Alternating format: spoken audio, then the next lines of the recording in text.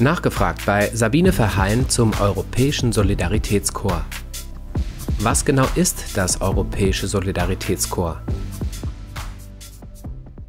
Das Solidaritätskorps ist eigentlich eine Weiterentwicklung des bisherigen Europäischen Freiwilligendienstes.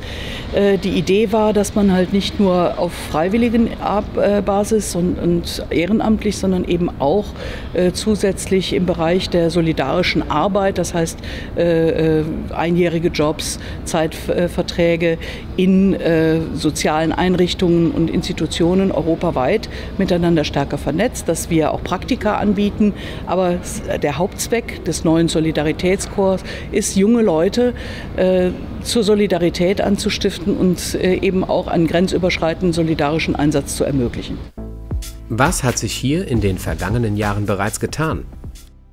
Wir kommen her im Endeffekt von einem Programm, ähm, das ein Teilprogramm des Erasmus Plus war. Äh, der Freiwilligendienst war früher ein, ein Unterprogramm im Erasmus Plus. Äh, dies wurde deutlich ausgebaut mit einer wesentlich höheren Finanzierung.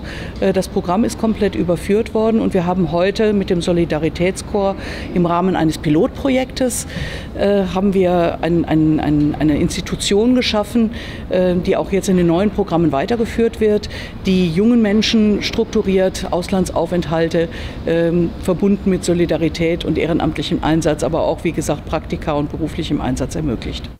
Was haben wir beim Europäischen Solidaritätskorps noch vor?